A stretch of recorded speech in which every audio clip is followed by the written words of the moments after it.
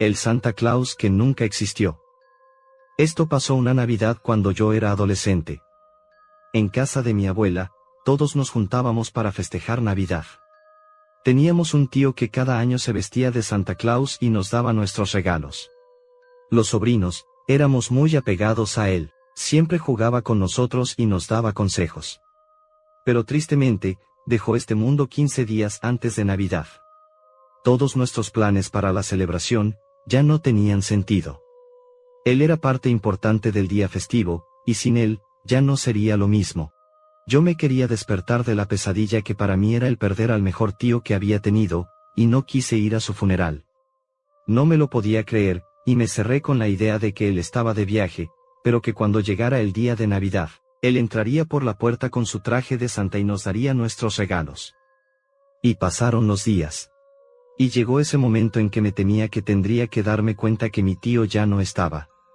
Desde que me desperté, esa Navidad, yo insistí a mis padres que no quería ir a casa de mi abuela para la celebración. No estaba de ánimo y no me sentía listo para dejar ir la imagen de mi tío. Mis papás me comprendieron, y decidieron dejarme solo en casa. Para ese entonces yo tenía 14 años. Pero antes de que se fueran a la casa de mi abuela, los escuché hablar sobre que mi papá se vistiera de Santa Claus para entregarme mis regalos, así como lo hacía mi tío, y animarme un poco. No creí que fuera buena idea, pero tampoco dije nada. Al fin de cuentas, también era su hermano. Y se dieron las ocho de la noche. Ya estaba oscuro. Yo estaba en mi cuarto, que está en el segundo piso. Y empecé a escuchar ruidos abajo, en la sala. Al principio me imaginé que eran mis papás que habían llegado a la casa. Aunque se me hizo muy temprano para que regresaran, no le tomé mucha importancia pero se me hizo extraño que no me avisaran que ya habían llegado. Y volví a escuchar ruidos, como si arrastraran cajas.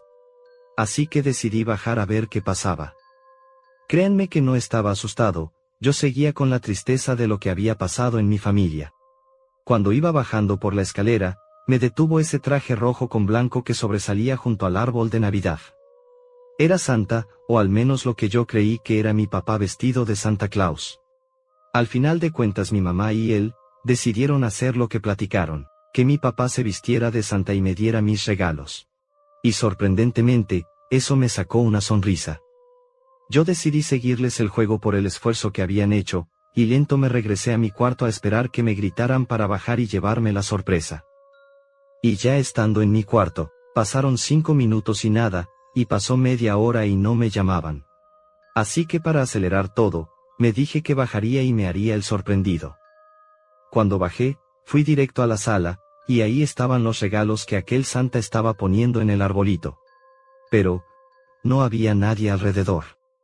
Recorrí toda la casa, los cuartos, la cocina y no había nadie. Eso me sorprendió. Pero mi lógica me decía, que mi papá era quien se vestiría de santa de ahora en adelante para dar los regalos en casa de mi abuela, y que se había tomado su tiempo para venir a dejar los míos, o eso quise creer. Yo me regresé a mi cuarto sin abrir mis regalos. Y me quedé dormido. Al día siguiente, escuché que mi mamá me habló para desayunar.